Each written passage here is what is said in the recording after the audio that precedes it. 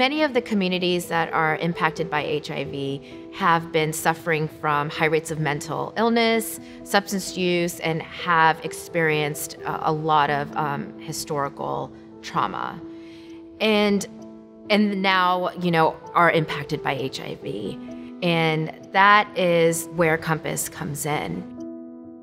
The University of Houston Graduate College of Social Work Compass Coordinating Center will be working with community based organizations to identify what's needed for them to function in their full capacity. We have a number of patients that are, are in denial around their infection. They may really have had a traumatic event that surrounded their infection, whether that was how they became infected or just the very moment and impact of finding that out and all the internal thoughts that that may trigger. We know from research that individuals and communities living with HIV are more likely to have a mental illness such as depression, PTSD, anxiety. When I got laid off, I went into the depression. That's when I felt the effects of having HIV on a social level. All hell broke loose on the inside. And I just made bad decisions. I made bad choices.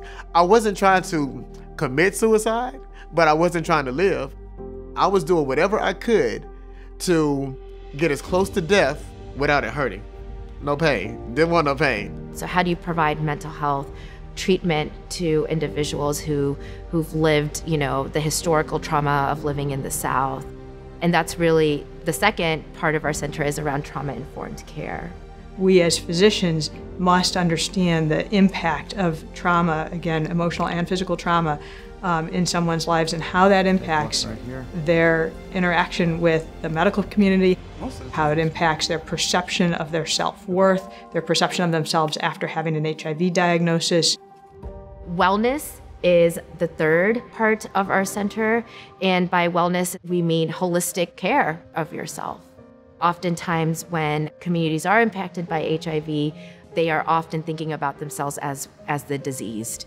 And then it also impacts your likelihood to engage in substance misuse. There's so many people that are hurting and they look for the instant gratification instead of looking for the long-term solution of finding out what is the, the problem. So we, we medicate our, ourselves through whatever avenues, be it drugs, sex, or whatever. And right now, that avenue is really hitting our um, community hard. I think the first thing we have to do is give people permission to heal. And I can remember when I told my mom the first time that I was in therapy, she was like, Why, you're not crazy. And I looked at her because I was like, Lady, where have you been? Have you not watched my life spiral out of control?